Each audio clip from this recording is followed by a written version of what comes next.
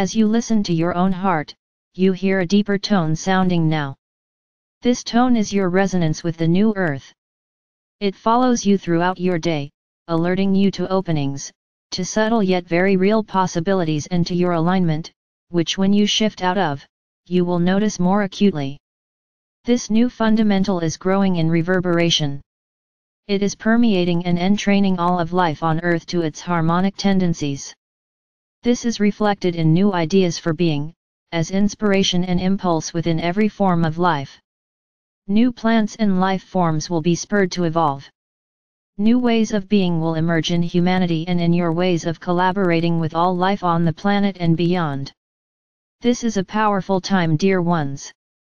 The knowing within you is how you find your way and this knowing is amplified by this new fundamental. This pedal tone of the new reality has a wonderful quality to it it loosens you up. It vibrates in such a way as to create more space within you. This increase in the space within you allows you to carry within your field, proportionally more of the unified field. This makes your intuition and inner knowing stronger, clearer, and more prominent in your awareness. You will find that life opens up quite significantly for you and for everyone as a result of this new fundamental tone of being which is the new earth. As part of the new earth you carry this tone within your energy structure and it also is shaping your structure from within.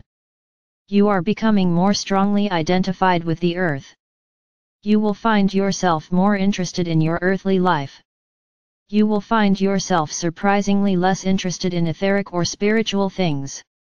Please allow yourself to smile at this knowing that you are enlarging energetically and identifying with larger fields of light and this is an expansion, not a diminishment of your divine true nature. All of life is calling forth this expansion in their own stream of consciousness in their own way. On Earth you are relearning why you thought it would be fun to play here and re-encountering the old dreams and wishes you had. We hope you find ways to look at them with new eyes. Your old eyes are so weary. They create so much pain in the way you feel. Let yourself have new eyes. Invite your eyes to be remade by the fundamental tone of the new reality. Let the other civilizations and cultures within the new earth the hidden cultures of Shambhala and Telos let them also support you in creating new eyes. It is through your eyes, or what we mean as your perception, that love is recognized. It is everywhere. Until you know this, keep working on your eyes. We love you. I am Neru, I am part of Shambhala. I speak to you with Archangel Michael and the Council of Light. I am very happy to connect with you now.